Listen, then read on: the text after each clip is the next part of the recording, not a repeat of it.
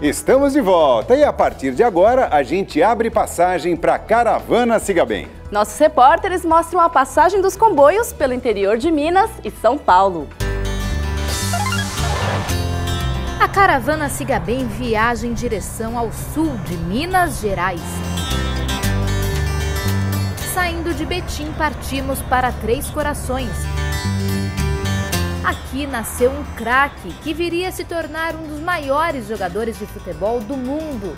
Olha aí o Rei Pelé nos recebendo em Três Corações. Em um giro pela região, conhecemos a vizinha São Tomé das Letras, cidade mineira das pedras. A pequena São Tomé atrai turistas, sociedades espiritualistas e alternativas em busca de energia e de uma experiência mística. Lendas e mistérios transformam a cidade em um destino exótico, em meio à natureza exuberante. A cidade, localizada a 1.400 metros acima do nível do mar, pode ser contemplada do alto de grutas ou da Casa da Pirâmide. Saindo de São Tomé, fomos conferir a parada da caravana Siga Bem no posto Marins e Marins, em Três Corações. Nós fazemos parte da rede Siga Bem. Isso já é um diferencial. O slogan da rede Siga Bem é a casa do caminhoneiro fora de casa. E isso já engloba tudo. Aqui nós oferecemos estacionamento iluminado, banheiros limpos, um atendimento diferenciado para o caminhoneiro que está em trânsito na rodovia. De Uberlândia, a caravana Siga Bem rumou sentido noroeste paulista.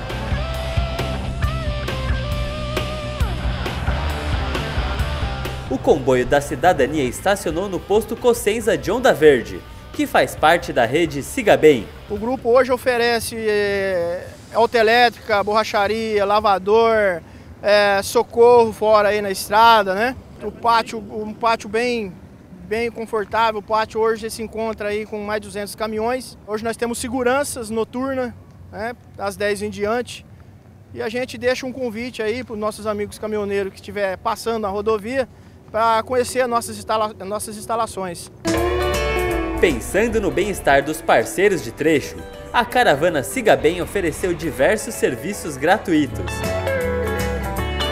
Teve corte de cabelo e massagem, além de exames de saúde, como aferição da pressão arterial e teste de glicemia. Os parceiros de trecho que visitam a caravana também aproveitam para fazer o teste do pacímetro, que faz a aferição da quantidade de monóxido de carbono que está sendo emitido pelo caminhão. Ô Kleber, conta aí, como é que se faz o teste do pacímetro? É colocada a sonda no escapamento do veículo e com o auxílio de um programa computador, onde vai, vai os dados do caminhão, do motorista. Ele vai pedir para ligar o caminhão e acelerar por 10 vezes ele tira uma média da, da, dessas 10 medições, acelerando e desacelerando o caminhão nessas 10 vezes. É isso aí, pessoal. O caminhoneiro que visita a caravana Siga Bem também pode aproveitar para ver como é que está a emissão de monóxido de carbono com o teste do pacímetro.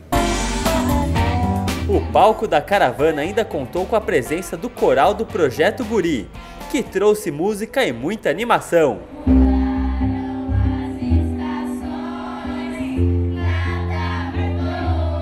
E quem passou pela Carreta Lã participou do concurso Caminhoneiro do Ano, que vai premiar um Felizardo com um Volvo 0 km. Depois, a caminhoneirada testou na prática os caminhões da marca Volvo. Bom, caminhão macio. Eu trabalho na firma que eu trabalho, eu trabalhava com 460. Também um baita de um caminhão. Nesse aqui não tinha andado, mas é um caminhão excelente, confortável, um caminhão muito bom. Entre uma atividade e outra, também encontramos uma turma especial de motoristas, as caminhoneiras do grupo As Brutonas. No meio do ano eu passei por uma situação em que ouvi a frase lugar de mulher é em casa, lugar de mulher não é. Lugar de mulher, essa frase me, me, me encheu a paciência, como enche de toda mulher que está no trecho.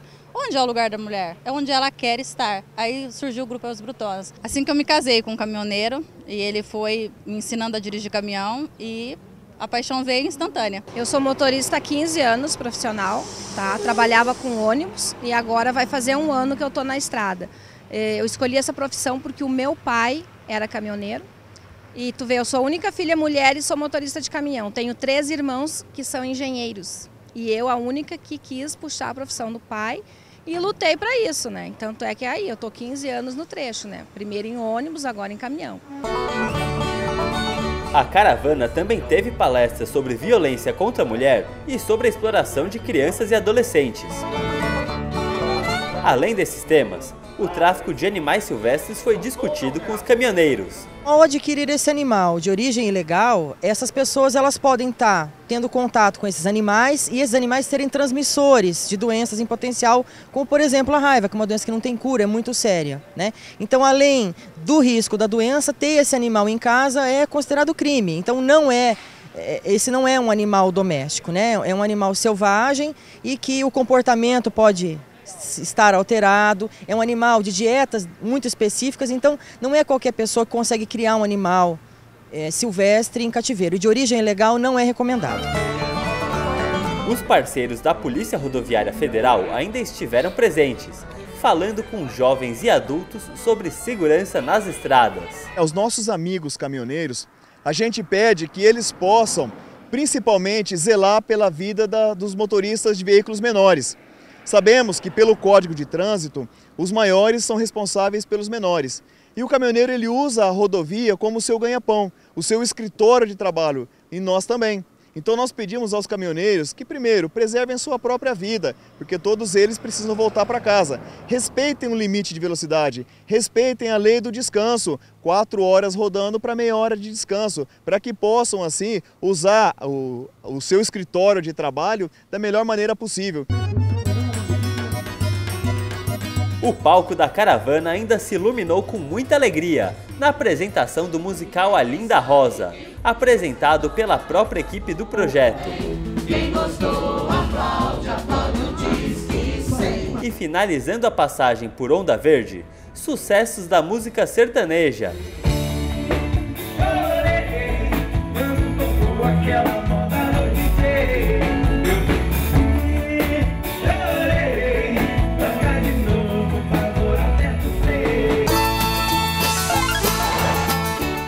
Comboio da cidadania trouxe muitas atividades e serviços aos parceiros do trecho. Olha aí o Rei Pelé prestigiando o evento. Grupos que fazem parte de projetos sociais da cidade vieram se apresentar no palco da caravana. A caminhoneirada e a comunidade local aproveitaram para cortar o cabelo e relaxar na cadeira de massagem. Além disso, profissionais locais verificaram como anda a saúde dos parceiros.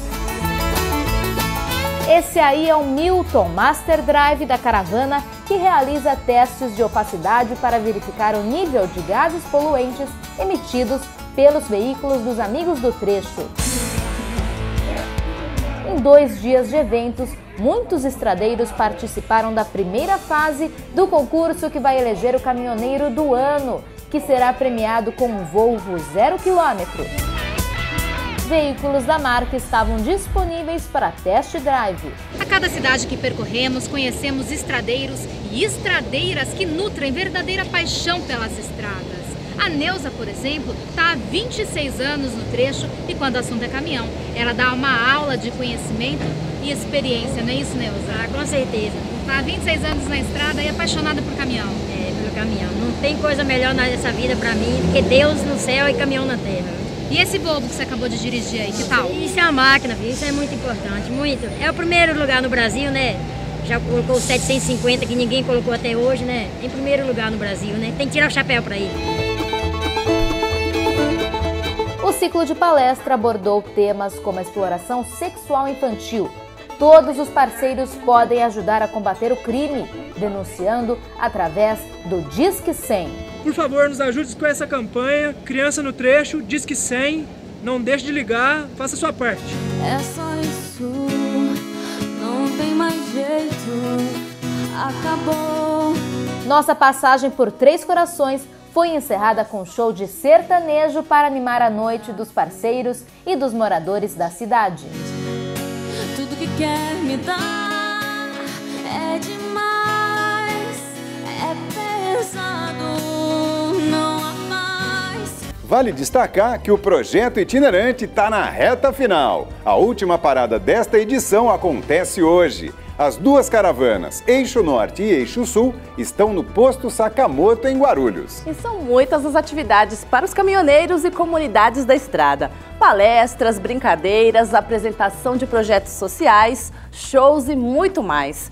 Quem encostar vai conferir também a apresentação do musical A Linda Rosa, que trata da exploração sexual de crianças e adolescentes. Tá aí mais uma chance de ver os caminhoneiros subirem ao palco da caravana Siga Bem. Nem vem, nem vem que não tem.